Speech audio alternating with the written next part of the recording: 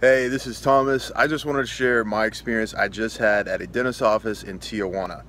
I was faced with dental expenses in the US I just couldn't afford, so I checked out a website, Mexico Dental Network, and I found a list of really nice dentist offices in Tijuana. I chose Samaritan Dental. They were very inexpensive compared to the dentist back home, and my dentist was awesome. Dr. Elizabeth, she took really good care of me. I felt I was in really good hands and my crowns turned out great so I'm really happy about that too. Oh and one thing, this dental clinic is as nice as any I've ever seen in the US. They just don't charge you as much. The office was first class and they provided me transportation as well.